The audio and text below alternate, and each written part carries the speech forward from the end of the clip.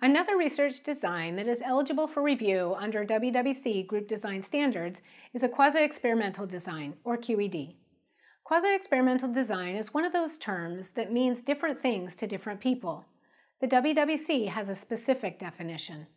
A quasi-experimental design is a study design that has at least two distinct, non-overlapping groups and did not use a purely random process to form the groups. A simple QED identifies a group of units that received an intervention and compares that group to a group of units that did not receive the intervention. Researchers can choose these groups in many ways, which we will discuss next. Because the groups are not the result of random assignment, the QED approach does not provide any guarantee that groups are similar on observed characteristics. For these reasons, studies that use a QED must demonstrate equivalence. Because of this, QEDs cannot receive the WWC's highest rating. In fact, the highest rating a QED can receive is meets WWC group design standards with reservations. So QEDs, RCTs with high attrition, and RCTs with compromised random assignment all must demonstrate equivalence. As I mentioned previously, the WWC considers any study that uses non-randomly formed groups a QED. There are many ways study authors might form groups. Authors may use convenience samples, which are composed of participants for whom a study author was able to collect data. For example, an author may focus the analysis on a group of classrooms in the same school.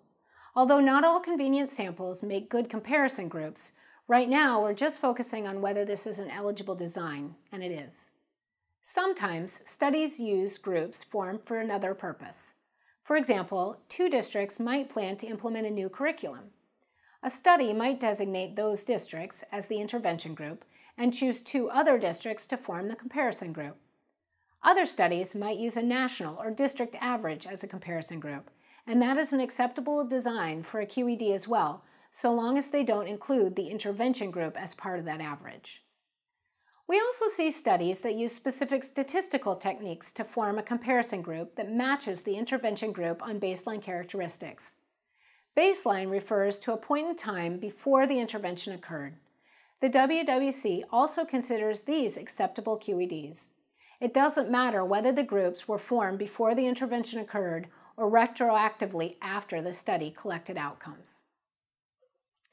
The highest rating a QED can receive is meets WWC group design standards with reservations. This rating means that the WWC has a lower degree of confidence that the intervention caused the observed effect relative to an RCT. However, to receive this rating, the study must demonstrate that the groups were equivalent on baseline characteristics. Again, we'll discuss baseline equivalence in the baseline equivalence module, which is Module 3. QEDs that do not demonstrate equivalence receive the does not meet WWC group design standards rating.